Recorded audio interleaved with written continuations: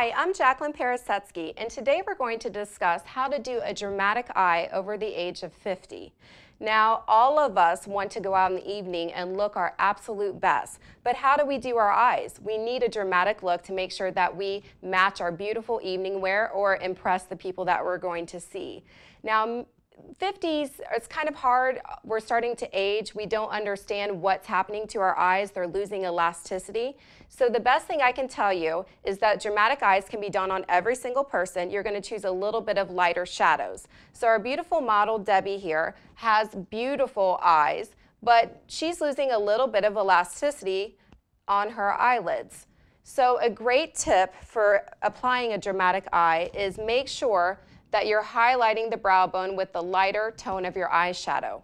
The second step is going to be applying a middle shade on her eyelid. Now this middle shade, typically you would be applying it in the contour of your eye. That's when you were younger and you used to apply eyeshadow that way. Well, my advice is going to be applying it to the main part of the eyelid because that's the areas that's going to show redness and discoloration because our eyelids get thin as we age. And my favorite step is going to be the sideways V. The sideways V needs to be applied on the corners of the eyelids, making sure that none of the darker shadow that you're going to use for the sideways V is going to drop below this point. And last but not least, liner, liner, liner. Liner is going to give us that dramatic look that we all want on our eyes for an evening look.